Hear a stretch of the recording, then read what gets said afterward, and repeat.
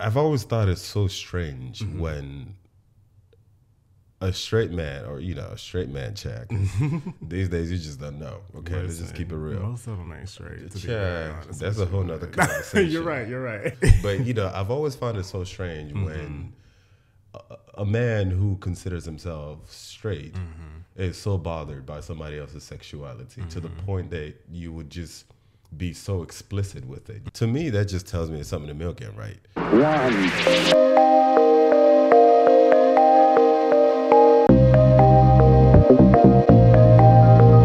Everyone. Welcome to another episode on Let's Talk About Us with Uche. I am your host, Uche. Thank you so much to everyone who's been supporting since day one. If you are listening to my podcast for the very first time, please make sure to subscribe, share with your friends and family. If you are watching on YouTube for the first time, also make sure to subscribe, share with your friends and family, give a thumbs up or thumbs down, and please do not forget to hit that bell notification so anytime I upload a video, you'll be the very first to be notified. Thank you, thank you, and welcome to the Uche family. So today I am here with my friend again, Jon. You are Definitely. one of my people. Thank you for having Fist me bump. again. Oh, I'm not gonna leave you hanging. My name is Jonathan. I am again from Houston, Texas. 29 years old. Thank you, thank you. Welcome back, welcome back. We need to talk about the LGBTQ community. Okay.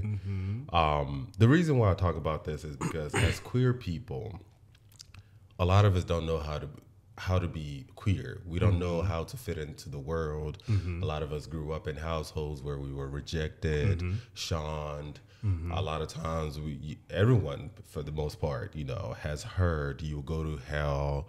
Um, there's some type of damnation, demonic possession, or something like that. You know what I'm saying? Like there's always it's always that narrative that's been spun. Right. A lot of us don't feel like we can be ourselves Right. 100% even within black spaces you know what i'm saying like you could be black but you can't be gay you can't be bisexual you can't be anything Right. other than that heteronormative macho man Exactly. or else you'd be uh, ostracized Yeah. so a lot of us grew up in the closet hiding from who we are and Mm-hmm. things like that right um, and as a result and also a lot of us don't have that advocacy. We don't have Mm-hmm. we don't have how to be. There's no role models. There's no a whole lot of positive role models that is diverse as diverse as the heterosexuals have. You know what i'm saying? Correct. a lot of times a lot of us grow up uh, watching some of the mainstream media you know Mm-hmm. try to emulate the lifestyles you know and a lot of times it's in showbiz you know and, and there's nothing wrong with showbiz. I know you're in, Right. in fashion but the reality is that that's not everyone you know what i'm saying? Like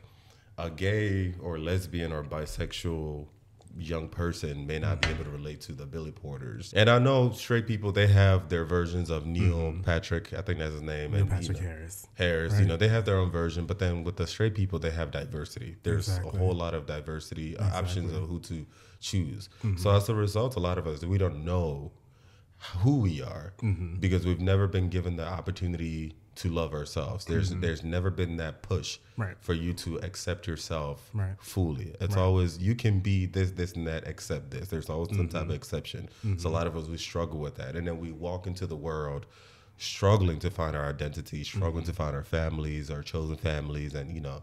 And as a result, it's, it's just a mess, in my opinion. Anyway, I see a whole lot of mess, and I've traveled the world. You know, what I'm saying I've traveled the world in places in Africa, places Mm-hmm. in Europe. It's worse in Africa, child. Places in Africa, that's a whole nother conversation. You know, places in Europe, Right. places in Asia. You know, the Australias, and it's Yeah. always the same, the same repetition of mm-hmm. the they're not knowing who we are. Mm-hmm.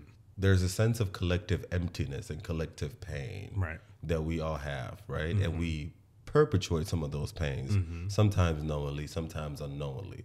And that's why I want to talk about this to unpack why is that? Gotcha. Queer identifying people have been fighting for representation so hard over the past, I don't know how many decades. It, it feels like it's been like a harder fought battle for the past, I don't know, I'd say maybe 10 years, or maybe that's just when it's really come into my awareness as somebody who's just kind of stepping into themselves as an adult. Um, but it does feel like over the past couple of i'd say maybe 10 or maybe 10 or 15 years um, the fight for representation has kind of grown we're just tired of being seen as some type of you know weird sideshow that you can like we're tired of being seen also as an accessory because mm. it's okay to be gay if you can be an accessory to someone who is obviously straight typically a cis hetero woman mm-hmm. the fight for representation has kind of worked to shift that a bit more. People have been gay for just as long as people have been straight. People have been bisexual for just as long as people have been straight. Like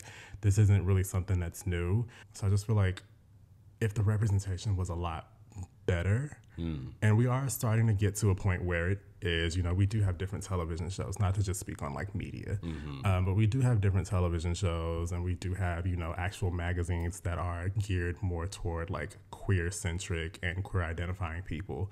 Um, you do have a lot of mainstream artists, mainstream executives. Like you have people that are in these industries that are saying, "Hey, mm. I'm here. This is me. I identify with you and your past, or I identify with you and your story. Mm. Here's mine, and here's." here's like I'm here to be like the poster child, I guess you'd mm. say, for what you can be. I've always thought it's so strange mm-hmm. when a straight man or you know a straight man check these days you just don't know okay Listen, let's just keep it real most of them ain't straight honest, that's a whole nother conversation you're right you're right that, that's a, you're that's right, a whole different right. series of episodes so sorry but you know i've always found it so strange mm-hmm. when a, a, man who considers himself straight mm-hmm. is so bothered by somebody else's sexuality mm-hmm. to the mm-hmm. point that you would just be so explicit with it. To me, that just tells me it's something the milk ain't right. You know what I'm saying? Just, and I feel like I've seen that behavior. Maybe I just haven't met a lot of non-blacks, mm-hmm. but I've I've noticed within the black community there's a lot more aggression, like intentional aggression towards mm-hmm. LGBTQ. 100%. You would think that you know all these minorities would stick together and right. you know like because at the end of the day, white supremacy is the enemy. Would you say it's because the black man has been threatened here in America? So there's a, there are masculinity has been questioned and threatened, you know, especially yeah. considering slavery. There was a time that a black man was not considered human. Mm-hmm. You know, you're considered like property. Farming black people at one point. Exactly. Would you say that's part of a trauma that has definitely brought black men to nothing, reduced black men to nothing? So historically, it's been ingrained in us that we are nothing.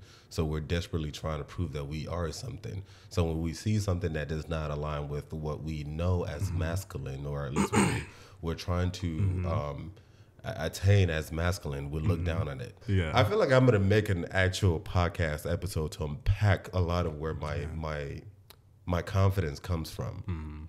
Because mm-hmm. I've I've met people, especially Nigerians, like they, they, they, some of them they think I'm weird. I don't give a shit. I've graduated from that nonsense. You know what I'm saying? Yeah. But I stand out to a lot of people, mm-hmm. and they don't understand why. It's like because if you knew the fucking mountains I've climbed and the mm-hmm. fucking oceans I've I've crossed, you would understand. Yeah. Because my cross was heavy, and can no bitch Listen. tell me otherwise. Listen.